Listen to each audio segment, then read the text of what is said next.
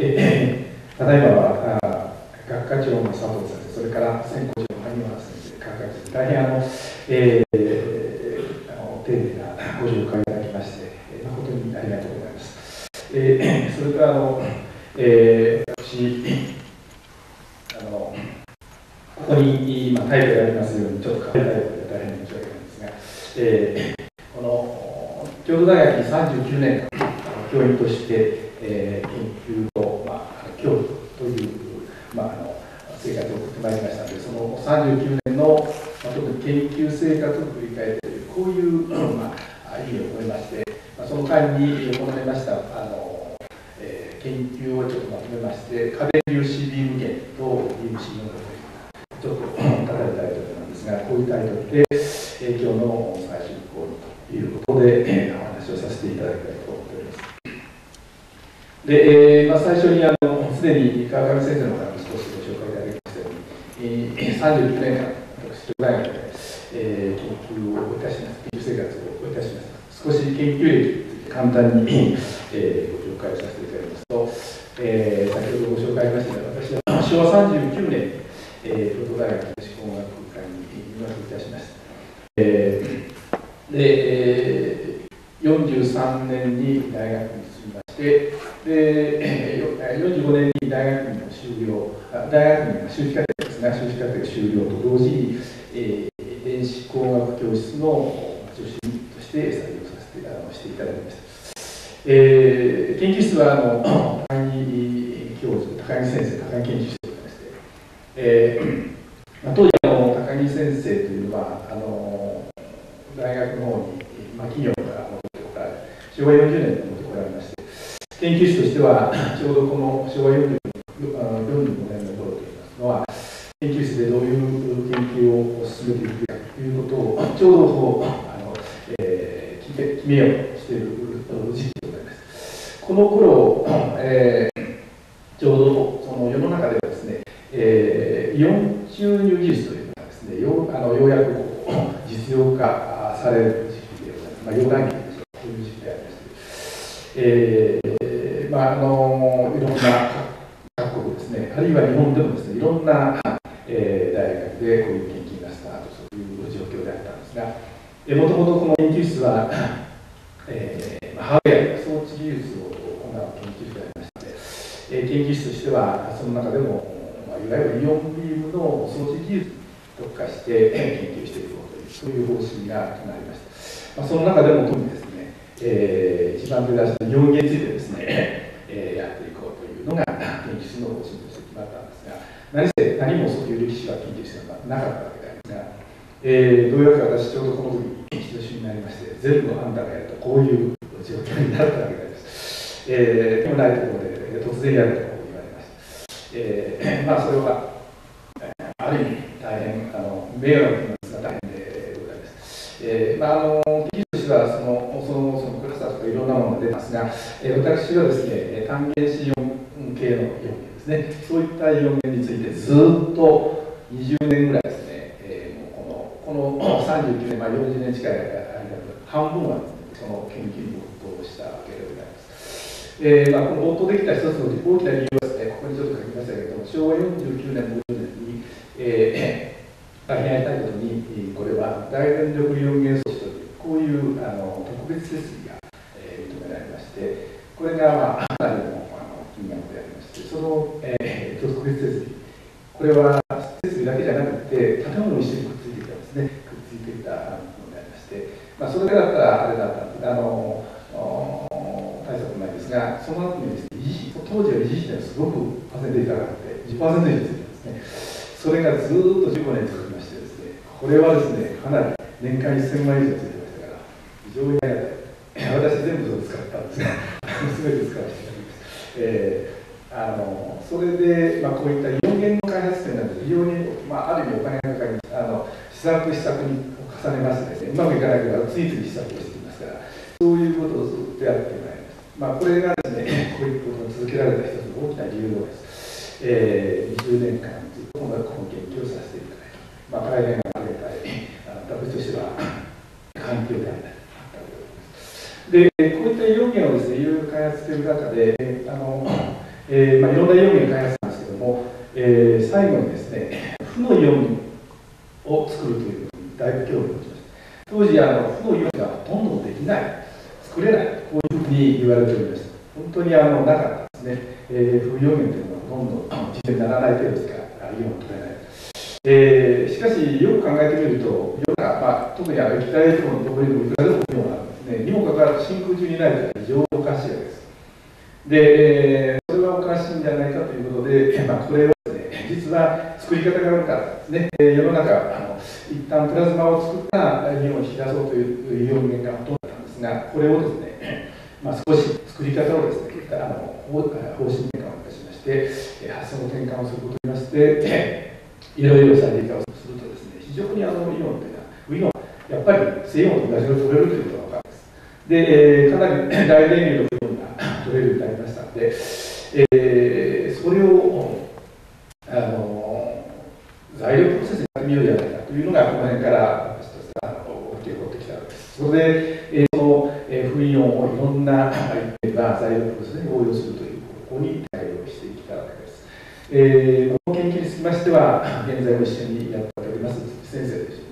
えー、いろいろこういった空気の見法展開をしてきております。で、あの私がちょうどこの平成元年あの研究室を持たせていただいたわけですが、えー、この頃にですね、実は、えー、少し電子ビームの応用でも研究をスタートしようということにもともと研究室はですね家電粒子ビームの、まあ、いろんなことを行う研究室になりました。ので、まあ、イオンビームだけでなくて電子ビーム。ただこの昭和25年当時はですね電子ビームというのは、ね、技術というのはすでにかなり、えー、成熟していた技術であましてあまりあの、まあ、大学で使うようなあ研究というのはそれほどなかったんです。がちょうどこの平成元年の頃にですね真空マイクロエレクトロニクスというそういう分野が、まあ、出始めてきたわけですまあ、今は実はあのナノ真空ナノエレクトロニクスという名前を呼びますけども当時は真空マイクロエレクトロニクスこういう言い方をしていますでこの、えー、の内容につきましてはです、ね、少し後でまたご説明いたしますけれども要するにローターデバイスのその電子の通達、まあ、走行するところをですね真空にしてしまうというそういうデバイスです大きさはデバイス、まあ、非常に小さいミクロンサイズなんですが、えー、その電子の相互する新聞にしてしまうと非常にまあ面白いことができるんじゃないかというこういう発想で出たそういう分野です、えー、ただその そのやそのものはですね 非常に面白いんですが一番問題は真空中そういう真空中非常に小さなミクロンサイズの真空中にですね電子をとにかく出さないコントロール出さないといけないというのは非常に問題現在もかなりな問題が起こっております。でそういったところに我々は焦点を絞った研究をしていこうと。いうことで、それを微小電子源というふうに称するわけですが微小電子源の開発あるいはその統合といったことをちょうどこの頃あの高い研究室の卒業生でありました先生、えーえー、戻ってきて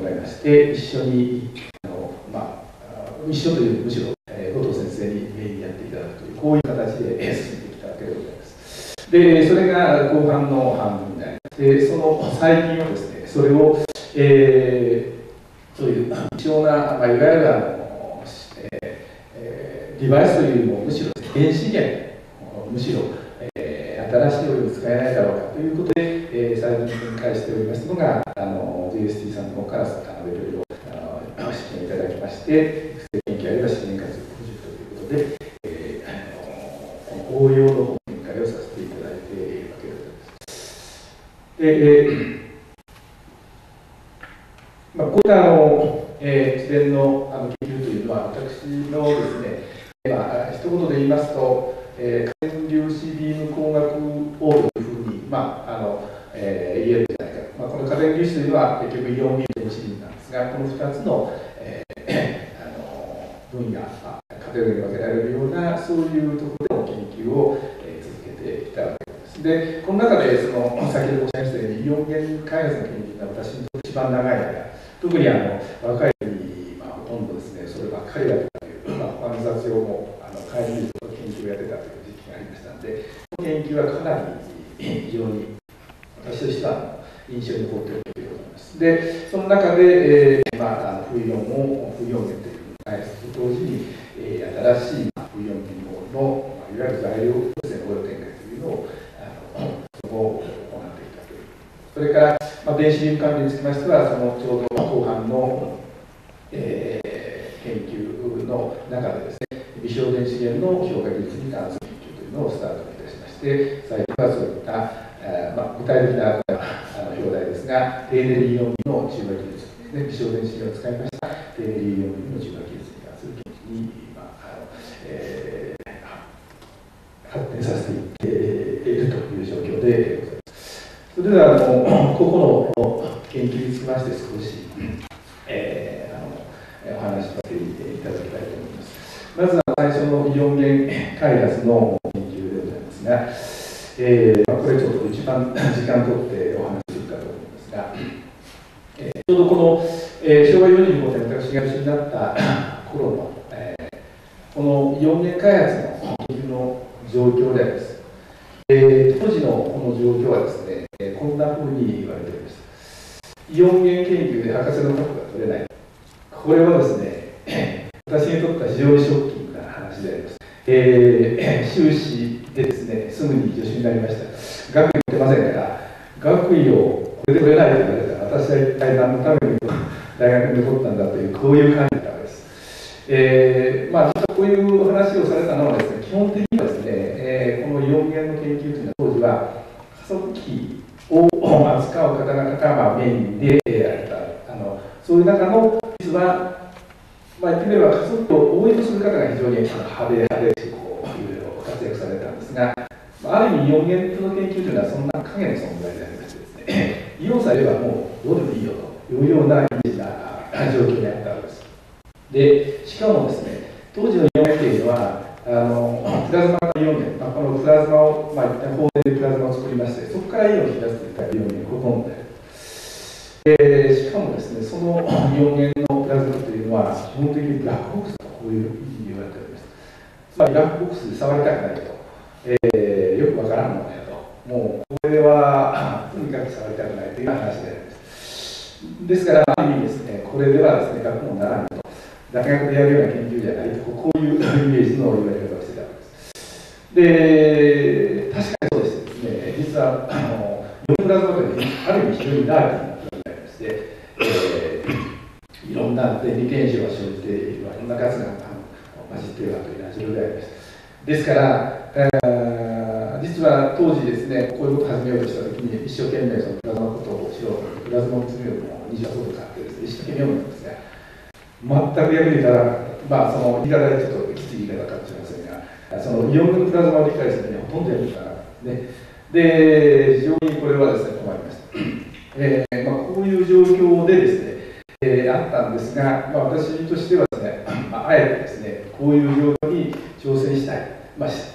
あのしたというよりも、せざるを得なかったという状況があったんですが、ああえて挑戦をするという形で、えー、4年の研究に入っていったわけです。まあ、ある意味あの、他の人がやっていないと思います、このブラックボックスというのは非常にある意味ありがたいですね。当時あの出だしの時は非常に大変なんですが、それをもし解明すればですね、これは全てオリジナルな仕事になるわけですね。ですが、えー、ブラックボスクイコールこれは研究の塊みたいなですね、研究とそう塊みたいな問題ですから、もしこれが解明できれば非常にあの新しい研究ができるということで、まあ、あえてこれに挑戦することで、えー、こういう、まあ、分野をある程度確立することができたということになるわけであります。で、まあ、こういう研究をこう何年か20年ぐらいやったことでですね、大変ありがたいことにあの医療源開発の拠点として、まあ、日本ではですね、医療源開発のであるということが認められるような状況になったわけであります。これはあの一つにはですね、医療源開発の拠点となった設備と建物、特にこの建物、大連力医療源装置、それから装置システム、これ建物付きのあの、えー、設備だったんですが、建物がくっついてるとですね、いかにもですね、そこでなんかあの研究をしているようななんかイメージがあるで、まあ、これを見てですね、日本の中で、まあ、こういったイオン源だけの研究しているようなところがあるんだなというふうに、まあ、外から見えるようでありましてあのある意味イオン源開発の起点というふうに見ていただいたということがありますで、えー、こういった研究を始めまして ちょうどこの、えー、15年ぐらいもういろいろ苦労したわけですが、その、まあ、苦労の成果をですね、こういう本に出版いたしました。えー、の、まあ、こういった研究する人のためにですね、えー、予言というのはどういうふうに考えたらいいのかというようなことをですね、できるだけ分かりやすい形で本として出版したわけでございます。それから先ほどちょっと、えー、川上先生から紹介いただいたように、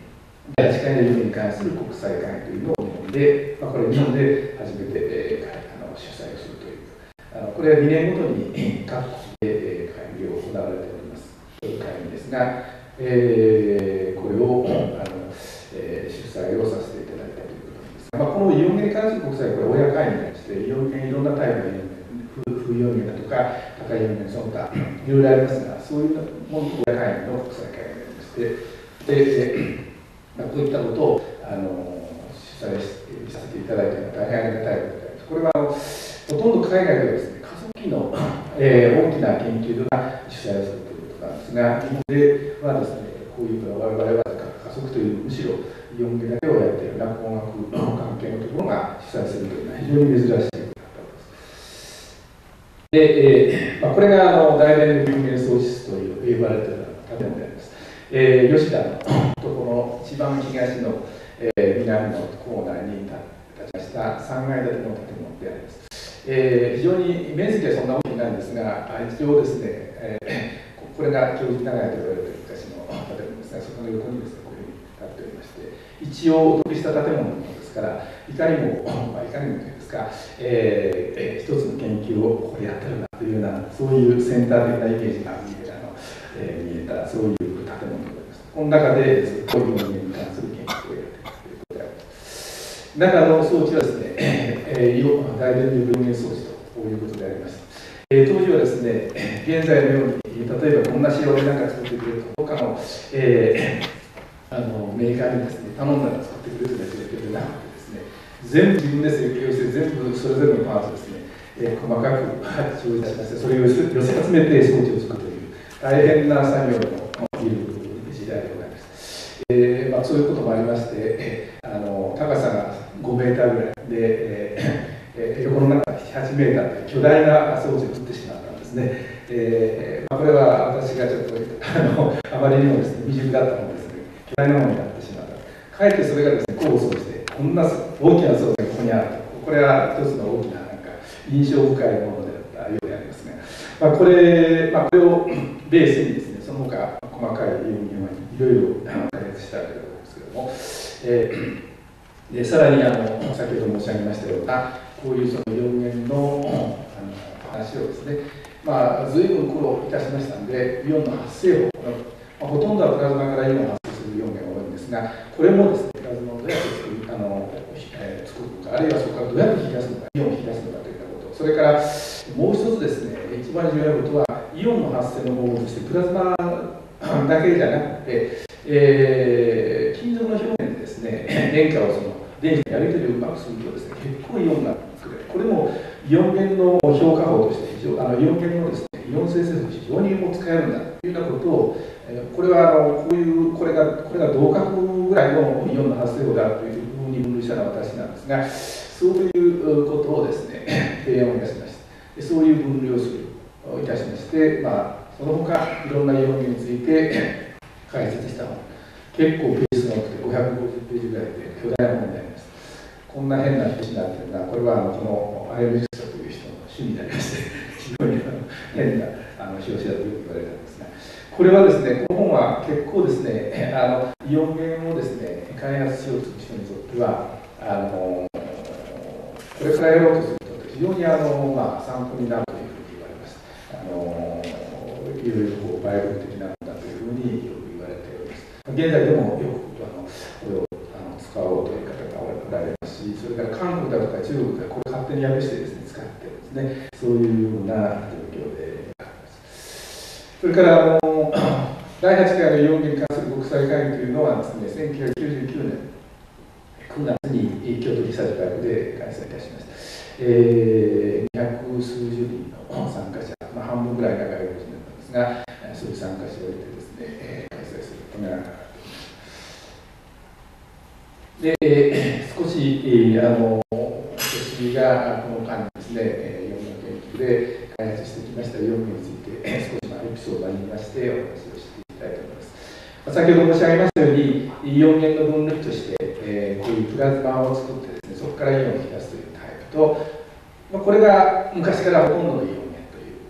ことで、まあ、これがイオン源の定義だったんですが、それ以外にこういうふうにですね、金属の表面、まあ、あの実は金属の表面との電子でやり取りをするということで、原子から電池を合わせたら制限があるし、電子電子が与えれば不要になるという、こういうプロセスですね。えーまあ、金属のそのコンダクション場面の電子がいっぱいありますから、そうそことのやり取りをうまくややり取りをするというのが、これも非常にあのうまくやりますとですね、えー、イオン源に使える、イオン源の発生に使えるんだというようなことを、あの私としてはずいぶん強調いたしまして、こういたタイプのイオン源も開発いたします。えー、上側のイオン源としては、ミプラズマ型イオン源、それから小型マイダイオン、マダイオンですね、それから表面硬化法によるイオンを整理する方としましては、眼心電極型体金属イオン、スパッタ型のこういったものを開発をしたわけでございます。えー、最初のビンプラズマ型イオン源、これはですね、ちょっと変わったイオン源でまして、あのこのここでプラズマ作るんですここでプラズマ作りますここからまあ普通イオン出せば普通のイオンなんですがこのプラズマを作るためにですねイオンの左側から電子を突入させるというちょっと変わったタイプのイオンになります、えー、この電子ビームとこのプラズマとの相互作用によってできた、まあ、マイクロでさらに、えー、イオンを増殖させるという、まあ、プラズマ増殖させるという非常に変わったあのプラズマ生成を作ります。それから電子の引き出しもですねえあイオンの引き出しもですねこのここの電子ここにある電子電子の空間電荷で その、えー、イオンの空間電荷を中和しながら空間電荷制限電流以上のイオンを引き出すというちょっとまたこれも変わったあの非常にあのイオン源になります、えー、このタイプのイオン源こういうようなやり方をするとですねよりたくさんの電流が取れる可能性があると最初、えー、私が優秀になった時にですね数年間の間になんかあの私がそういう話をでっち上げましたら、えー、高木先生がこれはいいとたくさん電流が取れるんやったら文部省に掛け合って金を取ってこようというので先ほどのですねあの大電力4熱装置が認められました。ですからまだあのほとんどイオン出ないような状態の時にバンと掃除掃除のお金がバンときました。私としては最終的にその言わあの最初に言われたたくさんの電流を出さないわけにはいかない、まあ、あの引くに引けない状態になったわけですが、えー、それそれを、まああのえー、関連したイオン源になります。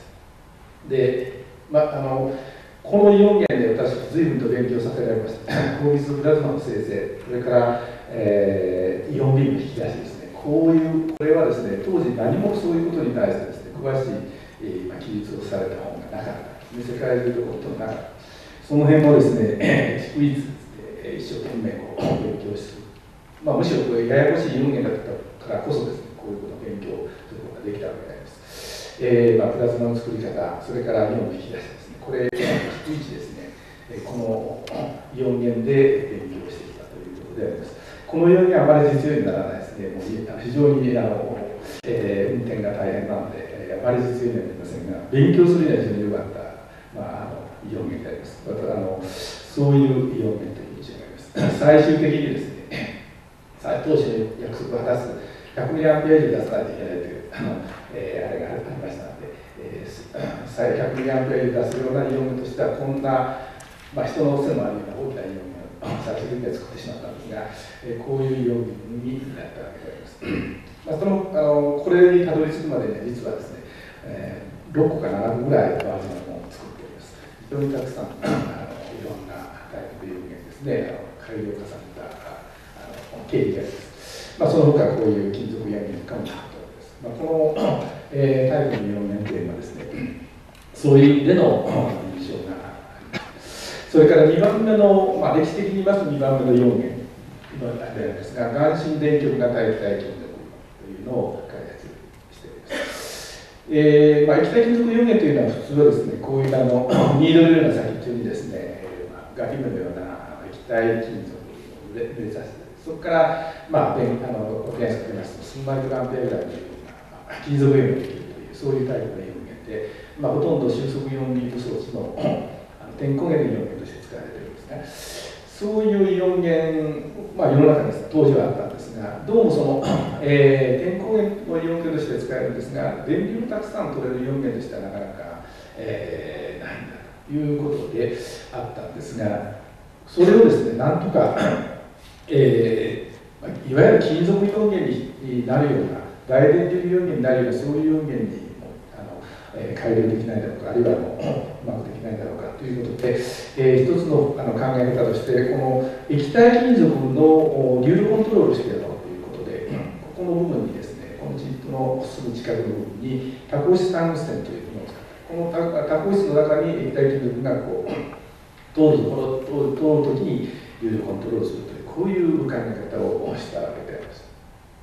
そうしますと、えー、2つ大きなメリットがありますこういうふうにあの重量コントロールができるということで、ま、大電流の動作にもある程度安定した動作をするそれと同時に、えー、あのこう液体金属があまり表面に出ないので、えー、この、えー、かなり蒸気圧の高い金属でも、えー、使えるようになった液体金属表面として使えるようになったわけです、まあ、普通外力というように非常に蒸気圧が低いものしかあの液体金属イオンに使えないんですが、えー、かなり高いものも使えるということになります。2桁ぐらい蒸気圧が高いものが使えるということで、非常にあのこういうふうに使える金属って、電流もたくさん取れるようになったということであります。えーまあ、こういった要言を作ったことによりまして、開発したことによりまして、えーまあ、その後、金属両ビーム装置だとか、あるいは、これはちょっとあの少し大電流とは違いますが、収束用ビーム蒸着装置開発に今していったわけでございます。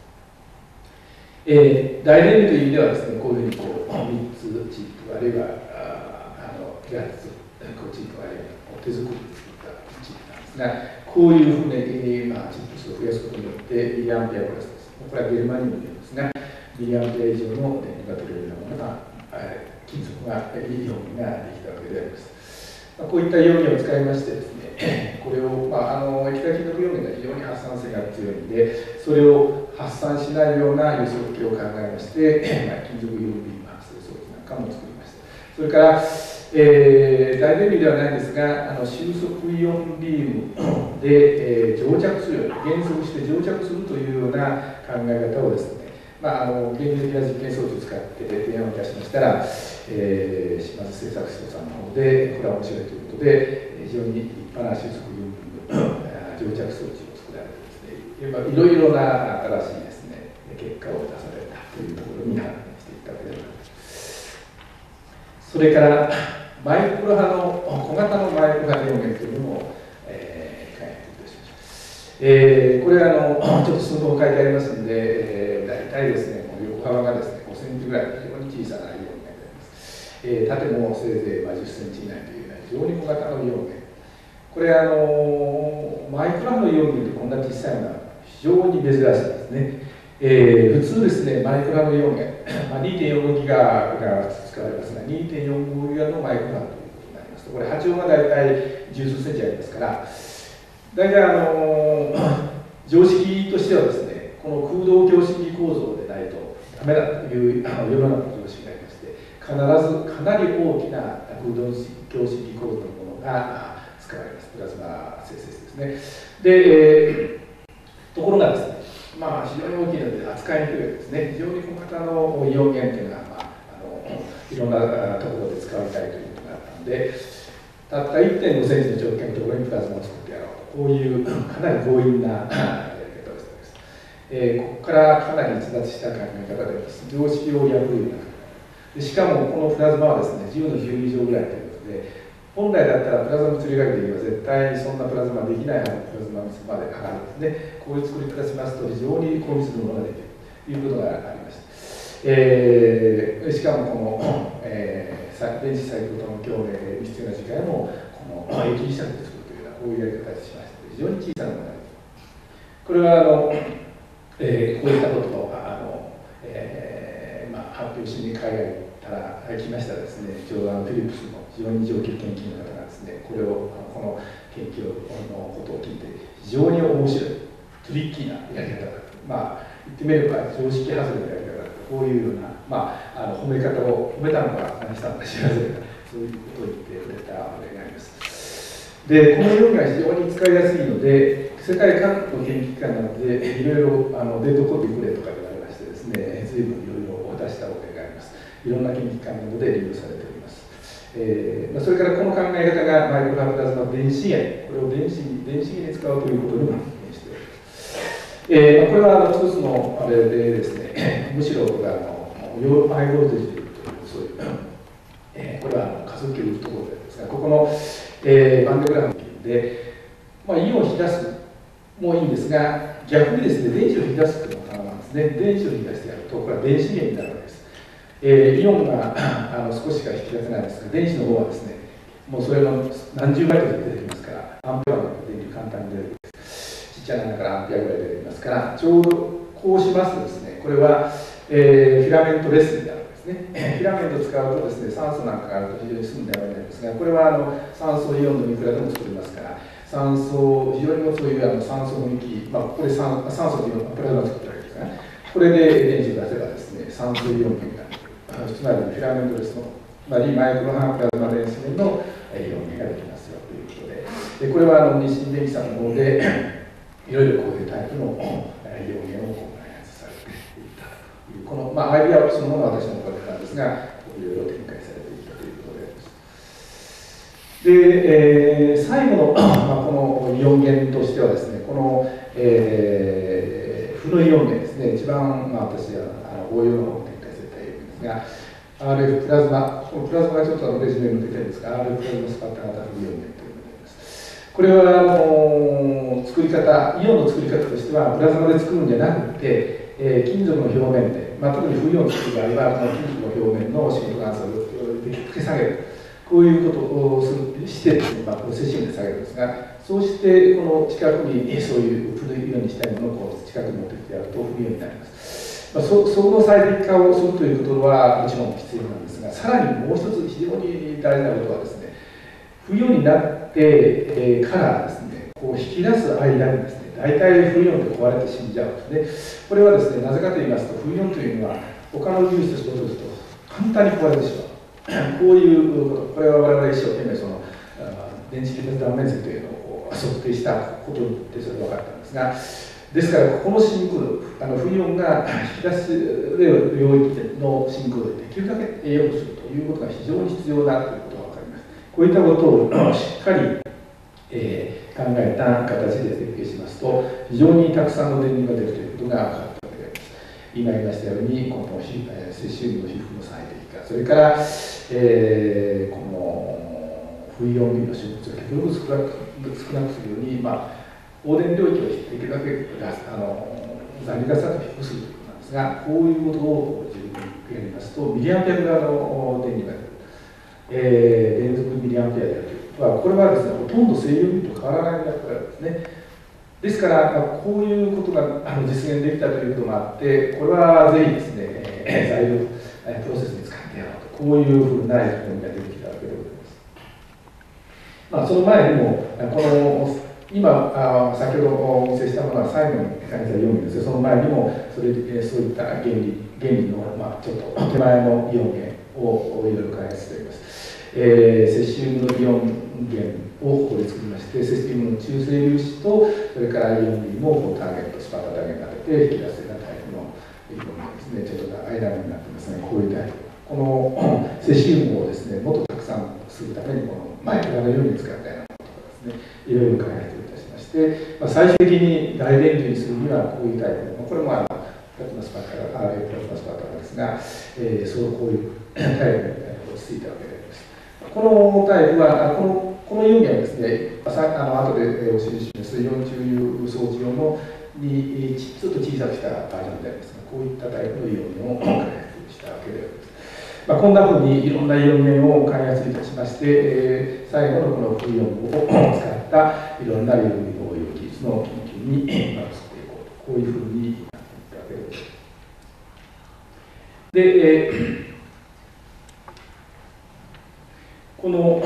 まあ、フイオンリンの応用研究というのはですねどういう動機でこういうふうになってきたかといいますとまあ、あの従来ですね、イオンビルの応用というのは全て、まあ、西洋、あの普通イオンビームというですね正イオンが普通であります不イオンというのは非常に稀で、まあ、最近でこそあの核融合で不イオンビームというのがよく取れるようになったんで、まあ、あの政府という言い方するようになったんですが昔はイオンビームというとですねあの正というのが当たり前であるんですね。で、まあ、あの西洋が当たり前であった。で、まあ、要するにその理由というのは不イオンというのは取れなかったからそのイオンの仲間に入れてもらえてなかったんですね。で、えー、ところがですねいろいろ研究するとほとんど同じぐらい取れるんじゃないかということが分かりましたので、えー、ぜひこれはですね不イオン耳のザイルプロセスの技術こういったものを展開していきたいこういうふうに思ったわけであります。で、えーあのイオン系の研究はしたんですが いざ応用しようと思うとです今度装置がないですね。世の中に装置がないということでこの装置がないから今度は全部そういうのを作らないといけないということだったわけです。ですからこれは不イオンのあ不イオン注入装置ですねとにかく作ったわけでありますちょうどこれあの、えー、家計人が少し、えー、たくさんいただいた時期がありましたのでちょっとこれその時のお金でまあ、日清電機さんとか協力していただいて、不燃装置を 独自で開発をしたわけであります。まあ、ある意味、世界で一つしかないような 注入装置であるということであります。えー、こういったものを作る。あるいは、冬用便の乗着装置も、これは他の予算なんですが、ということで、まあ、あのいろんな材料プロスの応用の準備ができことになるわけです。で、えー、この冬を使うとですね一体その何がいいことがあるのかというのが実はあの少し重要なポイントなんですねこういった研究をするときにですね実は、まあ、最初はですね 新しい、まあ、今までないような冬を使ったんだから、えこれをやってみたらなんか面白いことなんだろうという動機で始めたんですがある時学会に行ってですね突然言われた冬を使って何かいいことあるんですかとこうあの言われたんですこれは偉い仕事になりまして、えー、そんなこと考えてなかったんでうっと座ってしまったんですが、えー、これはいけないと思ってですね不意を使うことによってメリットがちゃんと説明できないこれはまずいなということでありますでいろいろこれあの、えー、まああのその時以来ですね不意音の使うメリットを探したんですが、えーまあ、一番わかりやすいメリットでイオンチューの時に、まあ、非常にわかりやすいメリットでそれはどういうことかと言いますとイオンチューの時にこの絶縁材料にイオン注入するときに利益されるんですね。これはあの、えー、導電性材料に注入するときは成分の部分もあまり変わらないんですが、あの えー、絶縁性の材料、あるいは絶縁物ですが、そういうときに注入するときのこの表面に耐熱仕方が全然違う。静音を注入しますとですね、この表面にどんどんして、ま、まさにコンデンサーに低電流源で電力をあの注入するような感じで、どんどんどんどん電圧が上がってこの上がる最高はですね、この、えー、イオンの加速電圧まで上がるんですね。えー、数十キロという加速のイオンビームですと、数十キロボルトまで上がるということになるんです。これで全部破壊しちゃうんですね。こういうような絶熱が破壊されてしまう。ですから、えー、普通はですね、こういうことを破壊しないで、一生懸命電車を浴びて食べせたいというするんですが、まあ、あの非常にこういう問題がイオン注入の技術は非常にいい技術なんですが、唯一ですね、こう絶縁物に注入するときにこういう大きなデメリットがあるんです。ところが、不イオンを使うと、こういうことがないんですね。これは、あの不イオンというのは負の電荷を持ってくるんですが、まあ、当たるとですね、この二次電子が出ます。ちょうど二次電子も負の電荷を持ってますから、ちょうどバランスするんですね。非常にうまくバランス取っております。で、ほとんど。せいぜい耐電しても数ボルトである。数ボルト以内なんですね。こちらから10キロぐらいまで耐えするので、こちら数ボルト、もう全然桁が違う。これは絶縁物全然壊さない。こういう非常にいいメカのメリットがということで、これを使うと非常に面白い展開ができるということで、まあ、これがもう一回特徴なんですが、チャージアップフリーのこういう電池になります。チャージアップフリーですから、静音とですね、このチャージアップした電圧によってデインが変わってみたり、気温が変わってみたりしますが、不要だとない。それから絶縁物が材料がですね、非常に薄い材料ですと、下手をすると静音だと損傷、放電破壊してしまうんですが、それがない非常に優しいようにができる。こういうメリットがあるわけです。で、こういったメリットをですね、使った、まあ、主に絶縁物へのイオン注入を本を不イオン中で展開しようということで、こんな、えー、これが SI の作成だとか、これはミクロン粒子の表面化ですそれからナノ粒子形成とナノ分解、それから生態的無線の整理、こういったような展開をしてきているわけ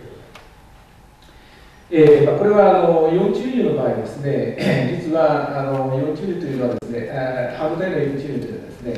えー、こういうゲート絶縁膜が上にゲートゲート電気がついた状態のままでですね、イオンチューニングをしざるを得ない状況にあるわけです。ですから、水イオンチューニングではですね、こういうここにですね、このゲート絶縁膜ゲート電気にですね、制御が当たりますと、これをチャージアップしてです、まあ、基本的に壊れるんですね。だけど、それをないようにするために電子シャワーをチャージアップしてですね、浴びせすぎるとこの電子によってですね、チャージアップして、今度またそれで壊れちゃう。非常に微妙なバランスで、今、イオンチ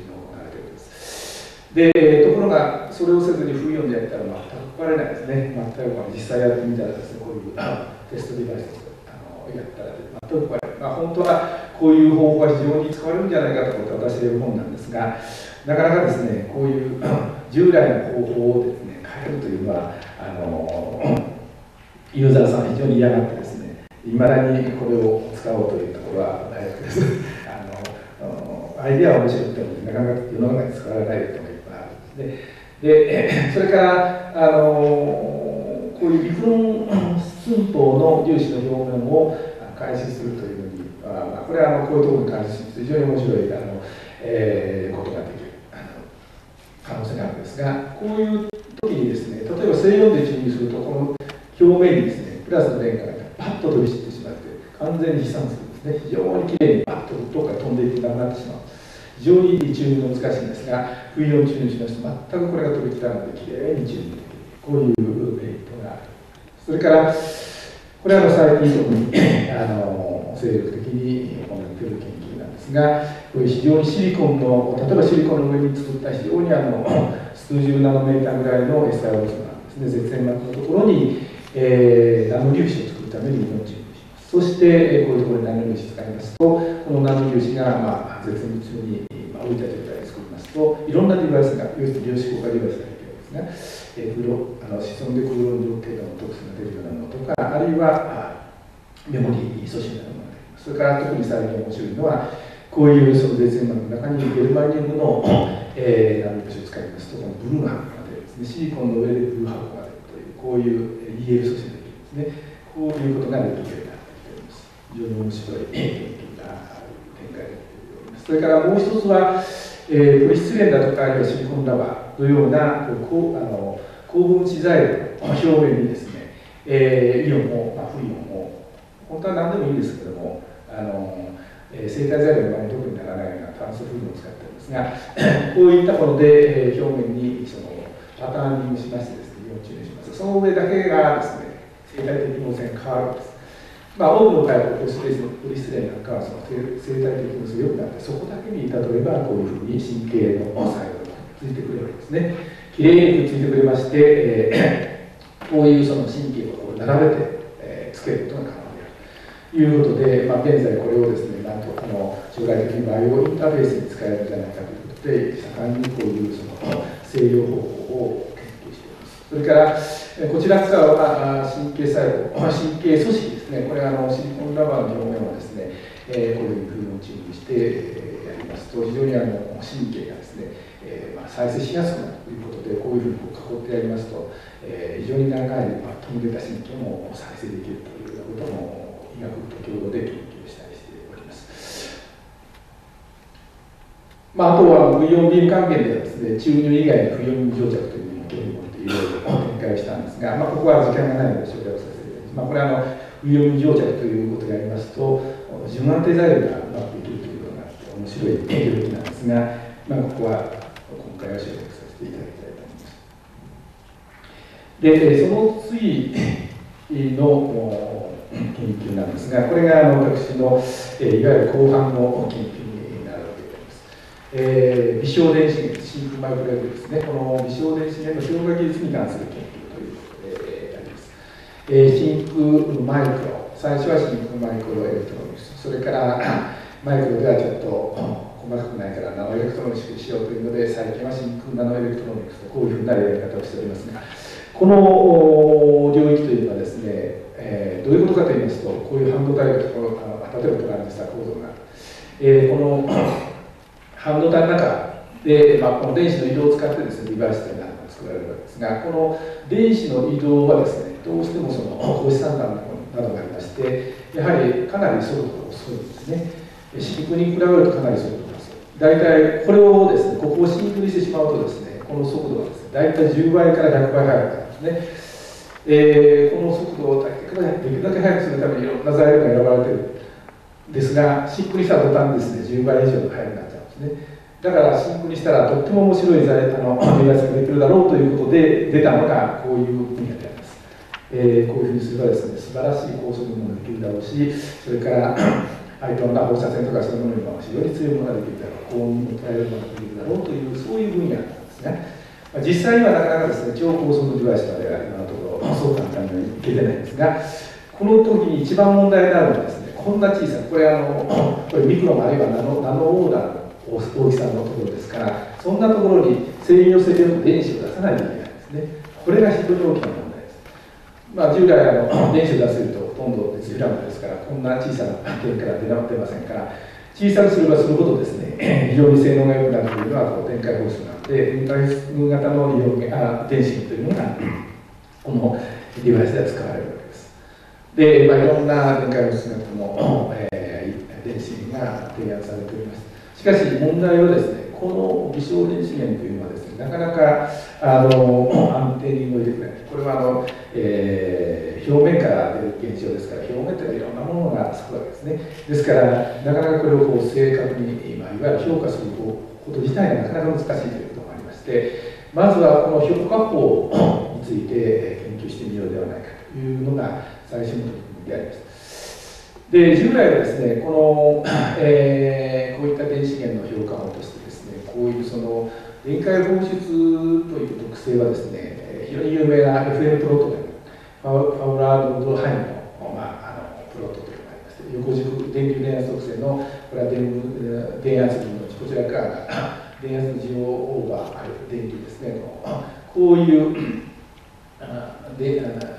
あの縦軸横軸にしますとですねこれが直線になるとこれはその限界防止ですよ。そうというのは有名な話であります。でその時にですね、えー、昔から言われたのはこの傾きがですね傾きがこの緩くなるなると非常にいいんですよ、まあ、こういう言い方でほとんど評価をしてたわけです。でただですねこの傾きにはですねいろんな要素が入っていまして。えー、いいですよと言われてもですね大体ほとんどこの傾きで仕事関数が非常にこれ分かるんですよという言い方を皆さんされたんですがどうもその仕事関数以外のファクトがいっぱい入ってる、えー、ですからもうちょっとこれを分離して評価できる方法をちゃんとやらないといけないんじゃないかということで、えー、我々の研究室というかむしろこれは後藤先生が提案したあの方法なんですが、えー、この FM プロット FM プロットになるんですがこの FM プロットのこれの切片ですね切片とそれから傾きというものをそれぞれ横軸縦軸に取ってですね。そして、えー、もう一度これをプリントし直すんですね、えー、こういうこれを SK チャー切片傾きチャー日本の頭文字使ってるので非常に変わって外人が読んだ時に非常にこれ困ったみたいです。切片傾きって何だよってあの 言われましてですね非常に困ったことがあるんですが。でも切片傾きと英語でも書いてます。うちの研究者がこのポイントをしてますが、えー、そういうものを通して作ってやる。そうするとですねこのチャート上の位置あるいはこの点の集まりの挙動によってですね実は、えー、仕事関数だとかあるいは構造上数というものがですね分離できるんですね。分離して評価できるようになる。これちょっと面白い話なんですが、まあ、こんなふうにですね、まあ、ちょっとややこしいので。省略いたします。が実行的な仕事関数とか実行的な先端教育範囲というのがここの位置だとかそれから振る舞いによってですね天の位置の振る舞いによって分離できるということが分かったんです、えー、例えばこうこういうような感じちょっとこう式が出てきてややこしいので省略いたしますが要するに こういうふうなチャートを作ることによって新しいチャートを作ることによって こういったことがですねあのよりクリアにですね評価ができるようになった。ということで、まあ、随分いろんな あの国内外のいろんなところでも最近この方法が面白いということであの利用されるようになってきております。で、えー、この、えー、微小電子源の、まあ、研究をですね始めまして、これをですね、えー、我々としてはですね何かあの新しい応用に、えー、使いたいというふうに思って最近展開しておりますのがこの低エネルギーイオンビームの中和技術に関する研究ということであります。で、えー、これはあの、えー、あの JST の育成研究だとか資源活用プロジェクトというところで、えー、資金いただきまして、えー、西関さんと一緒に西井四機さんと一緒にやっている仕事でございますけれども、あのえーまあ、これはあのえー、どういうことかと言いますと、えーまあ、この最近、まあ、この最近でこの次世代ですか最近で次世代の半導体デバイスというものではですね非常にあの、まあ、線幅がですね小さくなってでこの47とか37とかこういうふうにどんどんどんどんこう線幅が小さくなるんですが線幅が小さくなるということはですねこれはあの3次元的にこれは2次元の話です。が3次元的に言います。とですねこれ深さもですね当然あの浅いところにいろんな、まああのえー、例えば説明なんか作らないといけない今小型説明と呼ばれてますがこういうことで結局ですねその時に使われる、まあ、イオンチューブのエネルギーがどんどんどんどん低くなってですね0.2とか0.5とんでもなく低いところのエネルギーで、まあ、これはボロの話なんですがこういうふうな時代に突入しつつあるでところがですね、えーこのこんなにエネルギーが低くなりますと普通のイオン中流の装置ですねイオンビームあ、の10キロボルト以上想定して作ってありますから10キロボルト以上ですと割にまっすぐ飛んでいてくれるんですが、えー、これぐらい低くなりますとですね実はこの、えー、イオンビームというのはその正の、まあ、これは普通正のを使う場所ですから正の電荷がお互い同士反発してですね、えー、それによってどんどんどんどんあの理由というのは基本的には広がる、まあ、潜在的な力を持っているんですがこれがですねこの広がる力というのが電圧の2分の3乗に反比例するというこういう状況でありますから10キロほどから言うとこの0.5という10倍あの電圧違う0.2になるともっと違うさらに2分の3乗ですから数十倍ぐらいですねこの広がる力が増えていきますね。でちょうどこの敷地大体数キロボルト5キロボルトぐらいからですねこのビームがイオン中に沿ったビームがどんどん広がりつつある広広がるちょうどその C 値になるんです。でそこからですねどんどんこんなふうに0.5とかですね0.2になりますとこれがですね イオン注入装置でいきますとこんなふうにあっという間に数十度ぐらいまで広がっちゃうもうこんなんビームとは言えないぐらい広がってしまうでこうなってしまうために、えー、ものが作れまああの電流さえ減らせばいいんでしょうけれども電流減らすためのやつを対応せざるを得ませんから、えー、イオン注入装置としてですからイオン注入のあの、まあ、プロセスでもうほとんど利用できなくなるような状況に今来てしまっているんです。でややはりですね発散額はもうやっぱりこうほぼまっすぐに組めないといけないということなんで、発散の原因がですねこれは空間電荷にあるわけですからこいつを中和すればですね、えー、実はえー、これまっすぐ飛んでるであろうということは、まあ、当然わかるんです。それ自体はあの十分考えられるんですがここで非常に問題はですねイオン注入装置でのあのいわゆる空間電荷これは電子を結局あの逆の電子を逆の電荷を供給するわけですから電子を供給することになりますがこの逆の電荷を供給するときにですねえー、通常の熱グラムで使うと何が起こるかと言いますと金属のような汚染が起こる。これはあのイオン金装置にとっては絶対避けるべきことで絶対これ使ってはいけないですね。ですから、えー、そういう形で電子を供給することができない。そうするとですねあと何があるかと言いますと全くそういうことで汚染源にならない。クリーンな形で電子を供給するにはどうしたらいいかということで我々が提案したのはですねここにシリコン系のですねシリコンの電子源を使ったらですねもともとシリコンの十分わけですからもしシリコンが多少出てもこれは全く問題にならないでしょう。これが新しい提案だったわけです。でシリコン系の微小電子源で低エネルギー4の あの空間結果を中和するということで、えー、やれるということで提案したわけでありますけれども、まあ、ある意味これはかなり無謀なああの提案でもあったわけです。これはあの実はイオン中装置というのはですね、えー、高真空とはいえですねかなりあの、まあ、ある意味あのこういう限界微小電子源というのは超高真空でしか普通利用しないですね。使用しないというか使用できないですね、えー、10のマイナス10等とかですねそういうところで利用するのが普通でありまして、えー、4中装置のような10のマイナス6乗等とかですね。そんなところで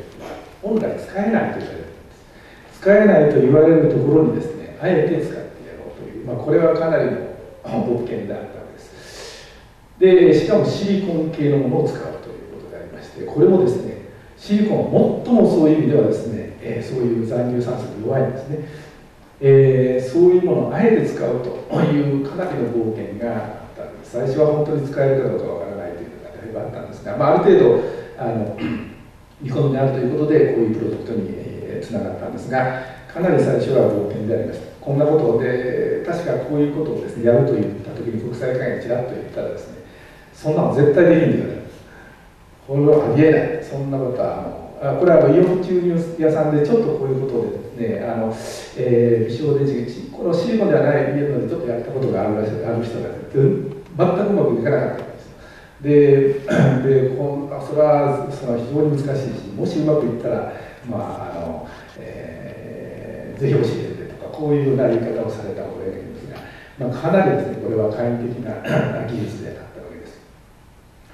でも我々はです。ねあえてそれに挑戦をしたわけですまああのえー、でシリコンのフィールドインターレイという電子源を作る作ると、まあ、これはあのそう基本的にはですねこういう技術自身がですね、えー、特にまあやたら新しいわけではもちろんないわけですが、えー、このここにですね先ほどがった非常にこの先端がナノナノメーターという非常に小さなあの尖ったここから電子放出するんですね。でその周りにゲー電極がありまして、えー、このこのゲート電極のこの大きさが大体1ミクロンあるいはそれ以下非常にこういう小さなものですね。これが非常にたくさんできててそこから電子を放出するというそういうタイプの電子源であるであります。でこの、えー、電子源こういったものを作ると同時に実は、まあ、新しいのはですねこういう全てシリコンで作っている。あのこういう普通の あの、えーえー、こういうシリコン FEA というのはですねここのゲート電気が普通はですね あの金属で作る場合が結構多いんですね、え金属で作る場合が多いんですがこの金属というのをやめてですね 全て少しでも あのそういう金属のようなものがないようにするためにオールシリコン製のものを作るというここに成功してあげられます全てシリコン。オールシリコンになるんですね。オールシリコンのようなものを作るということをあのに成功いたしましたさらに、えー、この、えー、オールシリコンのえー、あのエミッターの要するに最初言われてたのはですね非常にあのこれ寿命が短いと言われてるんですね。でそれはどうしてかと言いますとシリコンというのはですね表面に非常に酸化されやすいですね。ですから 10のマイナス6乗等ぐらいの進行であったとしてもラインガスからそのまた140ぐらい酸素が残ってますからそういうわずかな量の酸素でもですねあっという間に表面が酸化してですね消滅のことがなくなっちゃってほとんど電流が触れなくなるということが起こる。実際こんなふうに測ってみますとちょっとここはあの予定力が電流で縦軸があの寿命というふうな取り方しておりますけれども、えーまあ、ある電流で取りますと非常に短期間でですね あの電流が取れなくなるというのが普通なんですがここにですね 表面にこう炭素化するということによってですねこれが非常に長期明化するということが分かったわけです。これが、まあ、あのこの研究を進める非常に重要なポイントになっているわけですね。炭素化処理いたしますと表面がですね、まあ、SIC 完全な SIC ではなくてちょっとバランスの取れた組成が、まあ、あの非平行な、まあ、化学量といってはちょっと外れたような形の、まあ、SIC 化になるんですが導電性も増え、まあ、いろんな意味でこの表面にですねこう炭素をつけますと非常に寿命が伸びるということが分かります。大体2桁ぐらいですね、まあ、あのですからこれぐらいになりますと十分こういった案件あの実実用的な、まあ、研究に作られたというような状況まで来ることができたわけであります。えー、でこういった電子源を使うそして、えさらにもう一つですねいいことに あのこういうあのシリコンのような半導体からですね、えー、電子を出しますと非常に大きな問題が一つあります。これはですね、えー、普通の金属からですと非常にあの エネルギー幅といいますかあの電子の出てくる時のエネルギー幅が非常にあのシャープなんですがえー、半導体から出しますとですね、えーまあ、いろんな原因があると思うんですが電解が浸透したりとかいうようなして電位が非常に増えてしまう。これが非常にあの特性を悪くするんですがこれが、えー、炭素化いたしますとですね非常にそれが収まってですね今度金属の、えー、フィルド見たと変わらないぐらいの特性に落ち着くということになります。こうなりますと、えーまあ、実際にはあのこの電子源から出た電子というのはですね、えー、あのそのまま、まあ、引き出すエネルギー大体数十ボルトとかいうエネルギーで引き出しますからそういう電子元気のいい電子ですとです、ね、なかなか空間電化治療ができないんですがこれをですね一旦猛烈に減速しまして落とし速度を落としまして空間にですね、長いこと漂わせればですね非常に空間電化治療がうまく起こ。るですからエネルギーにすればするほど効果がありますし、まあ、その他いろんな えー、理由がありましてスウェットの元以下の電子でないとを供給しないといけないと。こういう状況にあるわけです。従いましてそういうところまで実は非常にうまく現像できるというところまで、えーまあ、分かりました。これは実際に非常にうまく空間電解というのに使えるんではないかと。こんなふうにあの、えー、考えて、えー、研究を進めていってそしてさらに先ほど申し上げましたその一つのこの、まあ、アレイのような、まあ、たくさんこうメタがくっついているものがそれを並列動作するということも可能だということが、並列動作しますと並列した数だけ電子が取れるということも分かりまして、まあ、これはあの電流を増やすことができるというこういうことで、まあ、供給電流が増やせますからあどんな要因にも対応できるだろうとこういうあのメドがついたわけであります。でこういったあの電子を、えー、使ってですねえー、原理的に本当にこんな低レベルですねイオンビームが空間電化治療できるかどうか。こんなことを、えー、こういう装置をですね、えー、作りました、え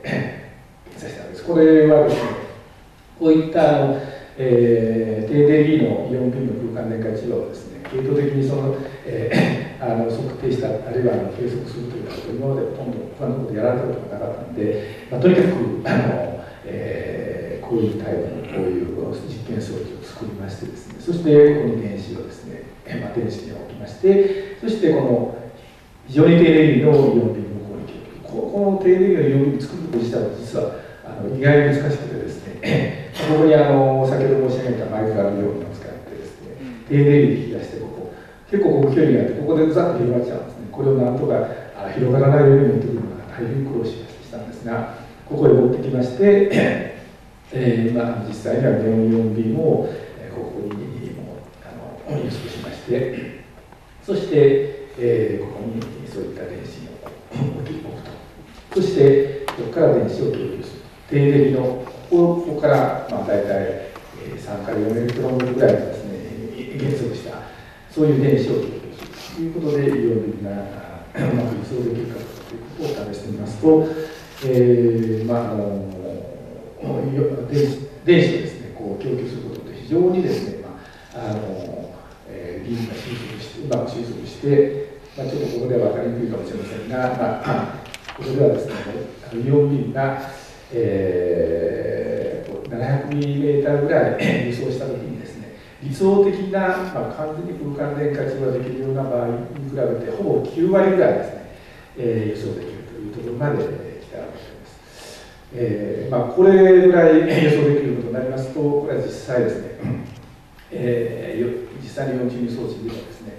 え、十分使える可能性があるだろうということで、まあ、これを、まあ、あのまだこれはあの、えー、こういう原理的な実験であります。まあ、あの電流量もあの4微の量もちょっと少ないので、これ実際の4級装置の4微の量にまでするところまであの実用化できるような研究を、まあ、これから続けていこうということで、まあ、このプロジェクトは引き続きですね、まあ、後藤先生に担当してもらおうということで、まあ、あの進めているところであります。ということで、あのえー、以上ですね、えー、少し時間が早かったんですが、あの私がこの39年間、あの教員生活を送らせていただきます。この間にやってまいりました、まあ、研究の一端をご紹介するということで、この30分とさせていただきたいと思います。で最後にですね、あのこの長年の、まあ、研究生活をさせてさせていただきました、あの電気系の教職員の皆様方に深く感謝を申し上げたいと思います。それと、この研究をあのいろいろ支えてくれました、研究室のスタッフの皆さん、それから、えーまあ、卒業生のあのますあの学生の皆さんですが、こういうあのこの方この方々に同じく深く感謝をしたいと思っております。どうも本当にありがとうございます。ご清聴ありがとうございます。